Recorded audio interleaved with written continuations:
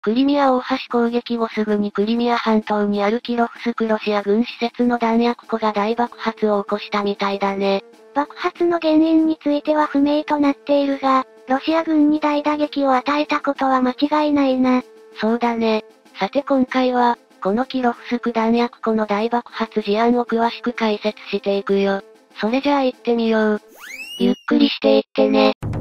2023年7月19日、クリミア半島にあるロシア軍施設の弾薬庫とされる場所で次々に大爆発が起き、火災が発生している様子が撮影された動画が SNS にアップされていたね。そして、クリミア半島のセルゲイ役所の副市長は同日にクリミア半島東部のキロフスク軍にあるロシア軍の訓練施設で爆発が起きて火災が発生し、近くを通る高速道路が閉鎖されているほか、周辺の4つの集落の住民2000人以上を避難させることになっているとテレグラムに投稿していて、この事案が尋常ではないことを明らかにしているんだ。この爆発の原因については不明であったが、テレグラムにおける有力チャンネルの一つであるグレーゾーンでは、ウクライナ軍がイギリスから供与された空中発射型の地対空長距離巡航ミサイル、ストームシャドウで攻撃したのではないかと勘ぐられているぜ。クリミア半島で活動しているウクライナ人によって設立された地下組織アテシュは、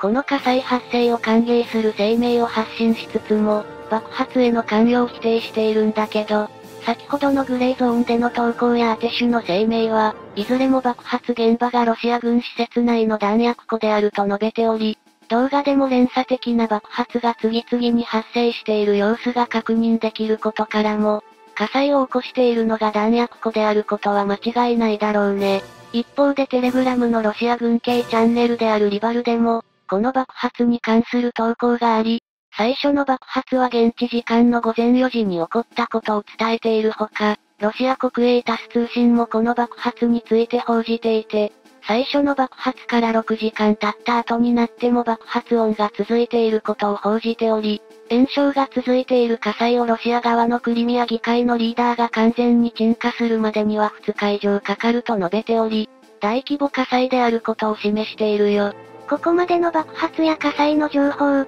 住民の避難状況などから推測すると、当時爆発を起こした施設が弾薬庫であるとするなら、かなり大規模なものであると判断し、クリミア半島やヘルソン州に展開しているロシア軍には大きな打撃となっただろうな。7月17日にクリミア半島の東端にあるケルチとロシア本土のクラスノダール地方との間に架けられているクリミア大橋が、ウクライナ軍の水上ドローンによる攻撃を受け、道路の一部が崩落したため8月に入っても通行止めが解除されたとの情報は入っていないんだ。また、6月22日にはクリミア半島の北東部とヘルソン州の間のチョンハル海峡に架けられている橋が、ストームシャドウと言われるミサイルの攻撃を受け、こちらも通行不能の状態が続いているようだね。さて、クリミア半島への補給路としてはクリミア大橋とチョンハル橋の他に、北西側でヘルソン州と陸続きになっていてアルムヤンスクを通る幹線道路があり、現時点でクリミア半島への補給路はこの西側が確保されている状況なんだ。今のところ、鉄道路線は全て生きていて、こちらもアルムヤンスクからペレコープ地境を経てヘルソン州へ繋がる路線と、こちらもアルムヤンスクからペレコープ地境を経てヘルソン州へ繋がる路線と、クリミア半島北東部にあるジャンコイから深いの鉄道橋梁を渡ってザポリージャ州のメリトポリまで通ずる2つの路線があり、これらは攻撃を受けずに運行できており、また、クリミア大橋と並行してかかる鉄道橋も健在であることから、現時点ではヘルソン州とクリミア半島の間の物流には大きな問題はないようだぜ。なぜウクライナ軍がロシア軍の主な兵隊補給ルートである鉄道網を破壊しないのか。その理由として様々な憶測が飛び交っているが、ウクライナ側が奪還後の復興などのために必要だからというのが有力で、現地のロシア軍を弱体化するには兵隊を集積している施設などを攻撃することで十分であり、橋梁破壊イコール補給路遮断という物流面よりも、心理面での効果を期待しているのかもしれないな。これまでにもクリミア半島内にあるロシア軍航空基地が攻撃を受けるなど、ウクライナ軍特殊部隊や地元住民のパルチザンなどによる破壊工作が頻繁に発生しているほか、南西にあるロシア海軍黒海艦隊の基地であるセバストポリ港に対しても、ウクライナ軍の航空ドローンや水上ドローンによる攻撃が相次いで起きており、これらの攻撃でウクライナ軍はクリミア半島奪還を視野に入れつつ補給を断つことによって、ヘルソン州のロシア軍部隊の戦力も弱体化させようと企んでいるんじゃないかな。クリミア半島に対するウクライナ軍の攻撃が頻繁に続いていることと、クリミア大橋が通行不能の状態になってしまい、夏休みをリゾート地として人気がある道東で過ごそうとしていたロシア観光客はキャンセルせざるを得なくなってしまったみたい。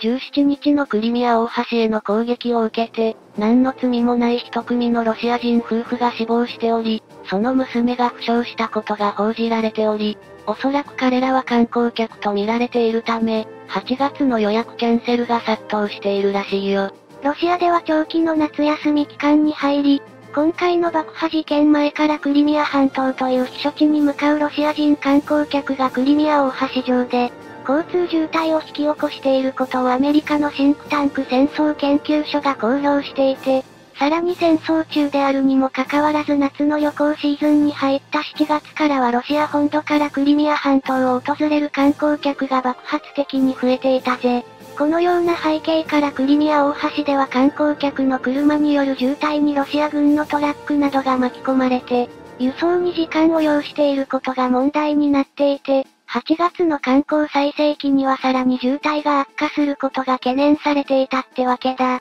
その理由プラス国民を守るため、プーチン大統領はクラスノダール州のベニヤミン・コンドラチエフ知事に対して、観光客はクリミア大橋を通行せずにドネツク州からザポリージャ州、ヘルソン州を経てクリミア半島に入る陸の回廊へ迂回させるようにと指示を出していたみたい。この指示を受けたロシアの旅行会社はクリミア半島への旅行を計画している観光客に対して、逆に旅行計画を中止しないようにとの呼びかけを行い、これくらいで旅行中止の決断を下ろさないようにと言い聞かせて、キャンセルを申し出ている観光客が説得されているらしいね。ただし、クリミア半島全体がウクライナ軍の攻撃を受ける可能性が高かったり、クリミア大橋の修復にかかる時間が不明であったりするほか、プーチン大統領が迂回路として示している陸の回廊についても危険地域に入る勢いで、そこに行き着く途中にあるザポリージャ州メリトポリやドネツク州マリウポリにもウクライナ軍の長射程兵器による攻撃が相次いでいることなどもあって、どう見ても観光客のキャンセルは避けられないだろうな。日本のネットなどへの書き込みでは、西側諸国の常識であれば、まずもって戦争が起きている地域への観光など考えられないといった意見が多く見られ、安全に旅行を楽しめる保証があるわけでもないのに、旅行会社がキャンセルしないように説得するのはありえないことで、万一の時のことを考えたら最高中止が当たり前だよね。危険地域であるにもかかわらず、観光を奨励するような姿勢を見ると、自国民の安全など全く配慮していないのはロシアらしいとして、兵士を肉の盾とするのと同様に、国民の命でさえも政治的戦略に利用することへの非難が西側諸国で高まっているよ。それじゃあ今回はこの辺で、よかったら、チャンネル登録してね。